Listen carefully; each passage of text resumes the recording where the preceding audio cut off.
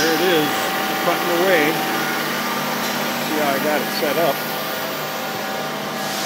Jack and bolts holding it in place and toe clamps.